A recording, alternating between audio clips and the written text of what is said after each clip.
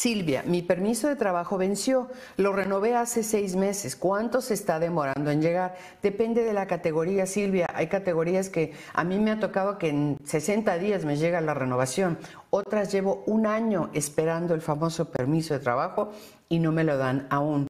Entonces, muy importante, si tiene ya su recibo de que pagó la cuota, si es que había cuota, eh, puede checar en línea en usis.gov status check o case status y ahí irlo monitoreando. Y también en usis.gov puede ver la categoría por la cual usted tiene en su permiso de trabajo en la tarjetita dice category.